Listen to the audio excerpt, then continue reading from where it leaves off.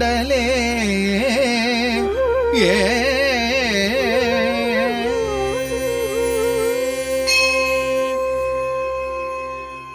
நேயர்களுக்கு அன்பு வணக்கம்.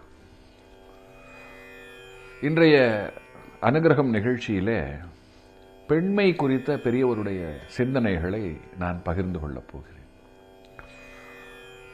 பெண்மை பெண்கள் இவர்களை பற்றிய அவருடைய கருத்து. அவர் ஒரு சன்னியாசி. சன்னியாசி அப்படின்னு சொன்னாலே பெண் சம்பந்தம் அற்றவர்கள் அப்படின்னு அர்த்தம். பெண் சம்பந்தம் அற்ற ஒருவர் பெண்களை பற்றி ஏன் சிந்திக்கணும்? பெண்களை பற்றி அவருக்கு எதற்கு கருத்து? அப்படின்னு ஒரு கேள்வி இங்கு எழலாம். அவருக்கு தான் வந்து உறவு சம்பந்தம் இல்லையே தவிர உலகத்தில் ஆயிரக்கணக்கான கோடிக்கணக்கான பெண்கள் இருக்கிறார்கள். அதனால அவர்கள் குறித்து அவர்களுடைய நலன் குறித்து பெரியவருக்கு வந்து பல கருத்துக்கள் உண்டு. அந்த கருத்துக்களை தான் அவர் வந்து இப்போ அவருடைய கருத்துக்களை தான் நான் இப்போ சிந்திக்க போகிறேன்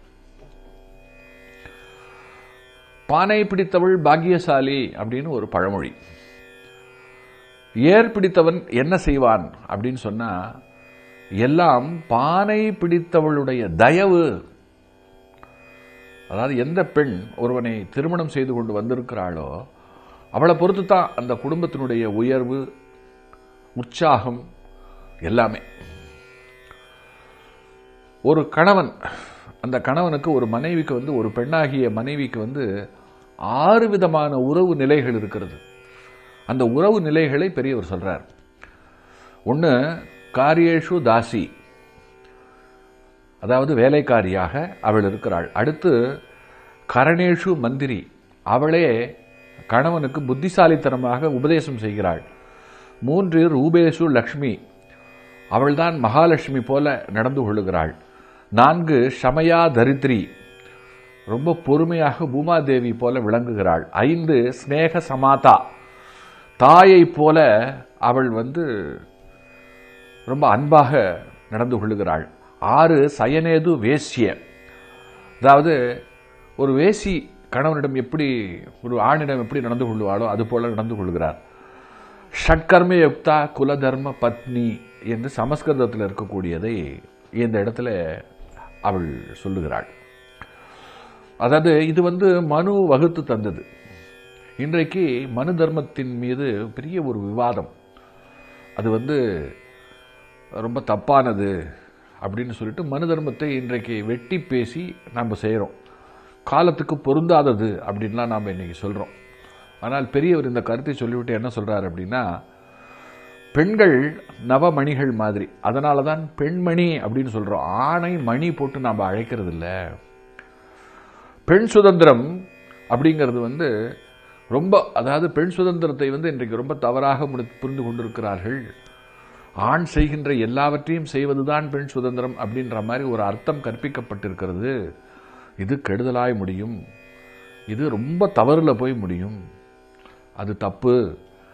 நவமணிகள் இருக்கிறது அல்லவா அதாவது ரத்னங்கள் அவைகளை எப்படி மதிப்பாக நாம் பாதுகாக்கிறோம் இல்லையா? அது போல பெண்களையும் நாம் வந்து பாதுகாக்கிறோம். பாதுகாப்பது அப்படிங்கிறது வந்து சிறைப்படுத்தப்படுவது போல சித்தரிக்கப்படுகிறது. கிடையாது. எங்கேயாவது ஒரு அப்பா தன்னுடைய பெண்ணை அடிமையாக நினைப்பாரா? ஒரு பிள்ளை அம்மாவை வந்து பெண் தானே அப்படின்னு சொல்லிட்டு கொடுமைப்படுத்துவானா? இவர்களெல்லாம் அவர்கள் பாதுகாப்பாக இருக்கணும் சந்தோஷமாக இருக்கணும் அப்படின்னு சொல்லிட்டு தங்களை முன்னிறுத்தி அவர்களை எப்படி வைத்து கொண்டிருக்கிறார்கள்? அதுதான் ரொம்ப முக்கியம். இன்னொன்று சொல்கிறார் பெண்ணுக்கு இல்லாத எந்த பெருமையும் ஆண்களுக்கு இல்லை அப்படின்னு இந்த இடத்துல அடித்து சொல்லுகிறார். பெண்களுக்குத்தான் எல்லாம். இன்னும் சொல்ல போனால் பெண்களுக்கே மிக அதிக பெருமை அப்படி இருக்க பெண்கள் ஏன் ஆண் மாதிரி ஆவதற்கு முயற்சி செய்ய வேண்டும் அப்படின்னு கேட்கிறார். இன்று பெண்கள் தங்கள் கணவர் பெயரை பின்னால் போடுவது மாதிரி. உதாரணத்திற்கு அதாவது புருஷ தெய்வங்கள் தங்கள் சதிகள் பெயரை போட்டுள்ளனர். உதாரணத்திற்கு உமா மகேஸ்வரன் கௌரி சங்கரன் லக்ஷ்மி நாராயணன் சீதா ராமன் ராதா கிருஷ்ணன் இப்படி இவர்களுடைய பெயர். இன்னைக்கு பெண்கள் தங்களுடைய கணவருடைய பெயரை பின்னால் போட்டுக்கிறாங்க. ஆனால் இங்கே தெய்வங்கள் தங்களுடைய கணவனுடைய பெயர் இருக்கிறது அல்லவா? அதை அவர்கள் பின்னால் போட்டுக் கொண்டிருக்கிறார்கள்னு சொல்லிட்டு இந்த இடத்துல இந்த உதாரணத்தை எடுத்துக்கொண்டு காண்பித்து இன்னொரு அவர் ஒரு விஷயத்தையும் சொல்லுகிறார். தர்மத்தை ஒருவன் ரட்சித்தால் தர்மம் அவனை ரட்சிக்கும். இது வந்து மகாபாரதத்தினுடைய ஒரு செய்தி.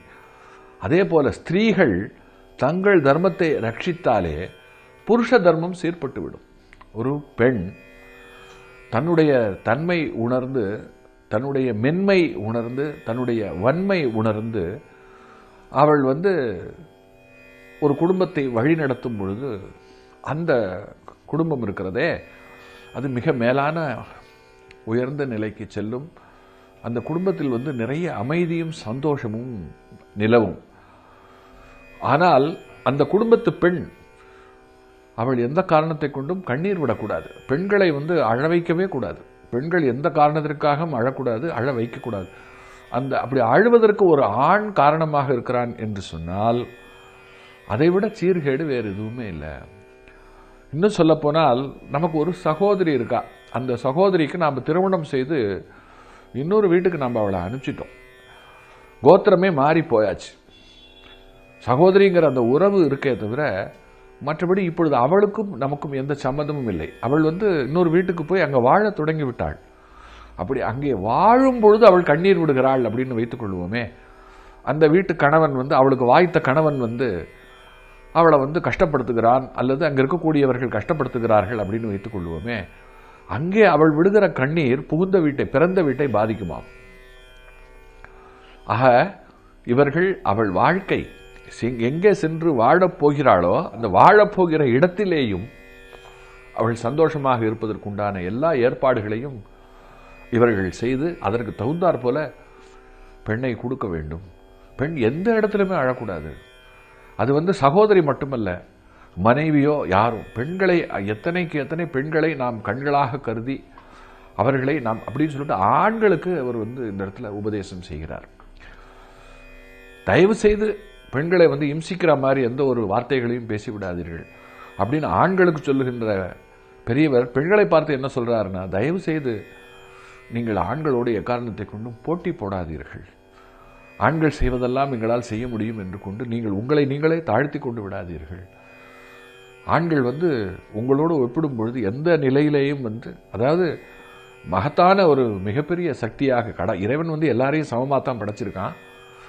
அதில் எந்த விதமான மாற்று கருத்துக்கும் இடமில்லை. அவரவருக்கு இப்போ எப்படி யானைக்கு தும்பிக்கை மாட்டுக்கு கொம்பு சிங்கம் புலிக்கு பல்லு நகம் கரடிக்கு தோல் இப்படி ஒன்றொன்றுக்கும் பார்த்து பார்த்து கொடுத்துருக்கிறான் இயற்கையில். அதே மாதிரி மனிதனுக்கும். அதனால் ஒரு கோணத்தில் எல்லாரும் சமமாக இருந்தாலும் மனம் அப்படிங்கிற ஒன்றில் பேத உணர்வு தோன்றும் பொழுது ஆண் ரொம்ப வலிமையானவன் பெண் என்பவள் தாழ்மையானவள் அப்படிங்கிறதெல்லாம் வந்து மனத்தால் உண்டாகின்ற ஒரு விஷயம்தான்.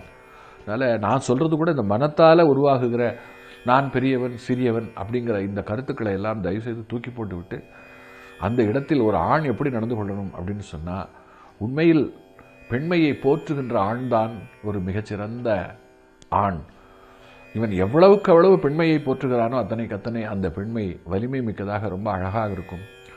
அதே போல் அந்த ஆண்மைக்கு கட்டுப்பட்ட பெண்மை இருக்கிறதே அதுதான் வந்து இந்த உலகத்திற்கு அமைதி தருவதாக எல்லாவற்றையும் செய்வதாக இருக்கும் அப்படின்னு சொல்லிட்டு பெண்மை குறித்து இன்னும் நிறைய ஒரு பத்து நிமிட அவகாசத்தில் என்னால் இந்த இடத்துல எவ்வளவு கருத்துக்களை பகிர்ந்து கொள்ள முடியுமோ அந்த கருத்துக்களை நான் பகிர்ந்து கொண்டிருக்கிறேன். நிறைய பேசியிருக்கார். ஒரு மணி நேர பேச்சு. தெய்வத்தின் குரலில் காண கிடைக்கிற ஒரு விஷயத்தை தான் எடுத்து நான் இந்த இடத்துல பேசியிருக்கிறேன். இன்னும் நிறைய இருக்கிறது. சந்தர்ப்பம் வரும்பொழுது அதையெல்லாம் இந்த நிகழ்ச்சியிலே தொடர்ந்து சிந்திப்பேன். மேலும் தொடர்ந்து சிந்திப்போம். காத்திருங்கள். காஞ்சி நகர் உரையும் காமகோட்டி குருவே காமகோட்டி குருவே காமகோட்டி குருவே.